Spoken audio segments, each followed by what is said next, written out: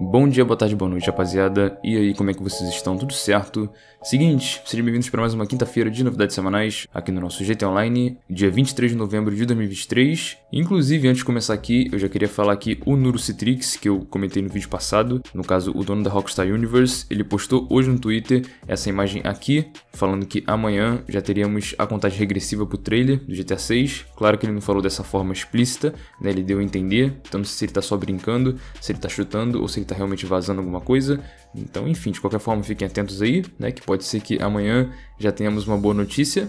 Mas enfim, quanto às novidades do GTA Online, para começar aqui, ao você entrar no jogo, você vai estar recebendo a máscara de Peru, em comemoração, é claro, ao dia de ação de graças. Outra coisa também que a gente vai estar recebendo é ao completar a missão final do golpe do Cassino Diamond, que vai estar recebendo o colete pesado Diamond, que se não me engano eles já deram no passado, posso estar me confundindo, mas tenho quase certeza que foi esse colete aqui sim. E outra novidade muito legal também é que durante essa semana a gente tem chances aumentadas de encontrar diamante no cofre durante o golpe do Cassino Diamond, sendo 20% de chance para jogadores normais e 40% de chance para quem assina o GTA Plus. E quanto aos desafios da comunidade, sim, os jogadores conseguiram bater a meta de 100 bilhões de dólares no ato 3 do golpe do juízo final, e com isso desbloquearam a nova estampa para o Zenturno, e legal que foram mais de 500 bilhões no total, então assim, passou 100 bilhões com folga né? Até por isso quando o pessoal fala, nossa, 100 bilhões é muita coisa, eu já sei que não vai ser, porque a gente sempre bate essa meta. Então, enfim, é isso. E também, ainda sobre o desafio da comunidade, lembrando que essa é a última semana para você colaborar com a meta do desafio Ecola e Sprunk. No caso, relembrando, se os jogadores conseguirem beber 100 milhões de latas de Ecola e Sprunk antes do dia 29 de novembro, a gente vai estar recebendo placas de carro personalizadas da Sprunk e da Ecola, um traje de corpo inteiro da Sprunk e da Ecola e também uma estampa para o Raiju, também da Sprunk e Ecola. E quanto aos carros da semana, no cassino a gente tem o Ubermatch Reinhardt no pódio para ser conseguido de graça pela roleta. Na Luxury Autos a gente tem o Grot Italy RSX e ao lado dele a gente tem Overflow Tyran. Agora na Premium Deluxe Motorsport, no Simeon, a gente tem o Toreador, o Zeno, o Ignus, o Sultan RS Clássico e o Rotring Hellfire. E já no encontro de carros LS, o carro prêmio da vez é o Anis Remus. E para que você consiga esse carro gratuitamente, você está precisando ficar entre os três melhores em uma corrida no evento de carros LS em série por três dias consecutivos. E no test drive do encontro de carros LS, a gente vai estar encontrando o Ocelot Swinger, o Vap de Retinu e também o Verus. Agora, em bônus, a gente tem as missões do modo história do cassino, com bônus de triplo RP dinheiro, as missões de trabalho do cassino, que você solicita ligando para Agatha Baker, enquanto estiver cadastrado como chefe, também estão com bônus de triplo RP dinheiro. O modo adversário Fuga de Mestre Remix também está com bônus de triplo RP dinheiro. As fichas diárias do cassino também estão com bônus triplo, que no caso são aquelas mil fichas gratuitas diárias que você resgata no balcão, que no caso com esse bônus agora são 3 mil fichas gratuitas diárias, certo? Durante a semana. E bom, por fim, em bônus, aquele evento aleatório de robô blindado, ele também está com bônus de duplo RP dinheiro. Agora, em descontos, as bebidas no cassino continuam completamente graça, todas elas. Fora isso, a garagem de 50 vagas e suas modificações estão saindo pela metade do preço, então se você precisa de mais vagas, tá aí uma boa oportunidade. E disseram que as roupas do cassino também estão pela metade do preço, mas como não aparece aquele símbolo de desconto, eu não sei, eu olhei todas aqui, eu não costumo comprar roupa aqui, então não sei realmente se muda de alguma forma assim visualmente, mas enfim, se tiver pela metade do preço tá, né, confira aí, disseram que tá, não sei.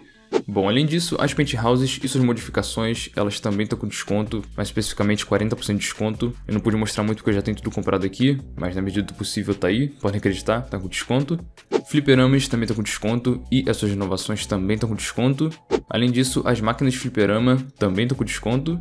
E em veículos temos apenas o Raju, que está saindo por 3 milhões e 800. Só que tem um porém aqui, prestem bastante atenção no que eu vou falar agora, por favor, tá? Então olha só. Esse é o único desconto que a gente tem hoje, porém, a partir de amanhã, dia 24 de novembro, até o dia 28 de novembro, vai estar tá rolando a Black Friday no GT Online. Então, reforçando, do dia 24 ao dia 28 de novembro, vão estar tá rolando os descontos que eu vou falar a partir de agora. Então presta atenção. Para começar, o Terrorbyte vai estar com 70% de desconto, um descontaço, né, diga-se de passagem o BR8 vai estar pela metade do preço, o PR4 também pela metade do preço, o Luxor pela metade do preço, Luxor Deluxe também pela metade do preço, Swift pela metade do preço, Swift Deluxe pela metade do preço, Ruine 2000 pela metade do preço, Avenge metade do preço, Stromberg metade do preço, Candiali metade do preço e para fechar, os iates e suas inovações vão estar com 40% de desconto e o laser vai estar com 25% de desconto.